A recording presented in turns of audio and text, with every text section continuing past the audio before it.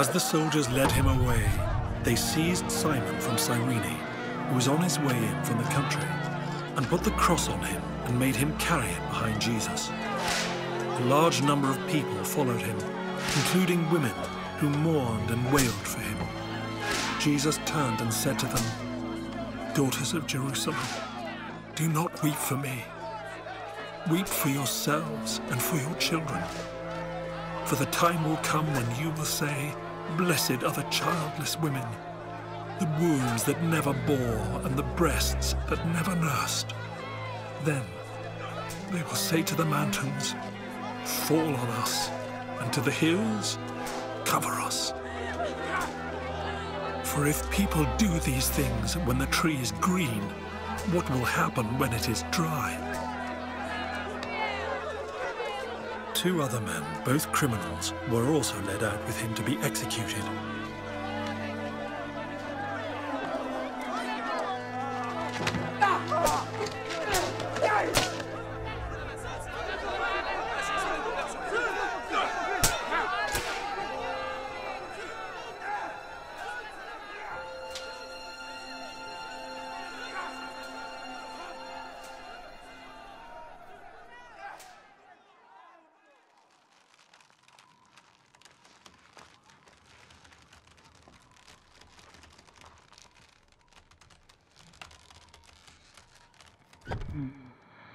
When they came to the place called the Skull, they crucified him there, along with the criminals, one on his right, the other on his left.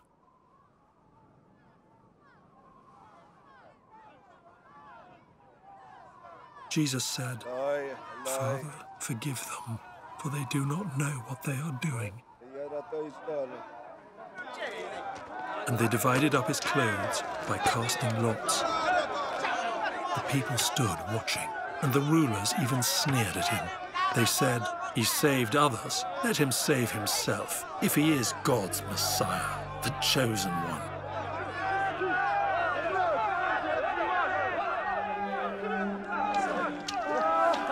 The soldiers also came up and mocked him.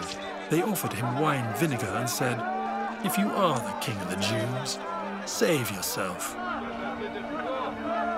There was a written notice above him which read, This is the king of the Jews.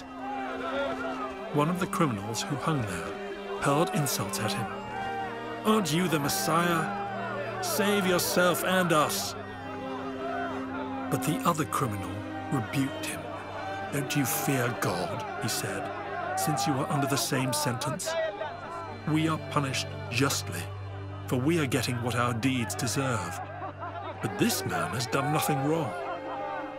Then he said, Jesus, remember me when you come into your kingdom. Jesus answered him, Truly, I tell you, today you will be with me in paradise. It was now about noon, and darkness came over the whole land until three in the afternoon, for the sun stopped shining. And the curtain of the temple was torn in two.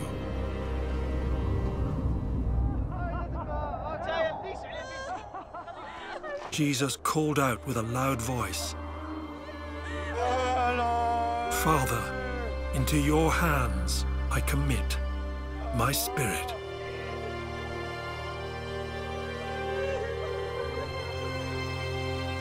When he had said this, he breathed his last.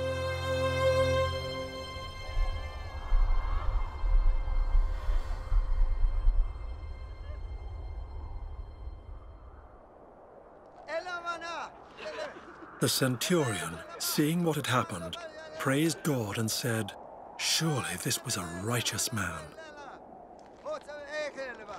When all the people who had gathered to witness this sight saw what took place, they beat their breasts and went away. But all those who knew him, including the women who had followed him from Galilee, stood at a distance, watching these things.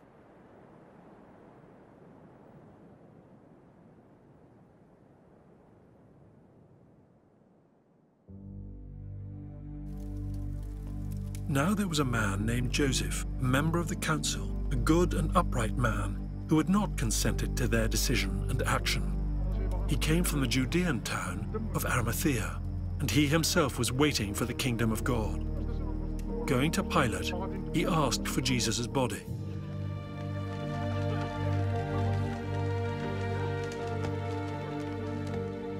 Then he took it down, wrapped it in linen cloth, and placed it in a tomb cut in the rock, one in which no one had yet been laid.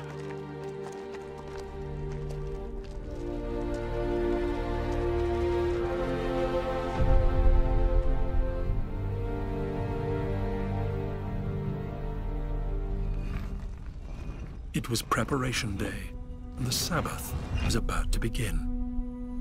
The women who had come with Jesus from Galilee followed Joseph and saw the tomb and how his body was laid in it. Then they went home and prepared spices and perfumes. But they rested on the Sabbath in obedience to the commandment.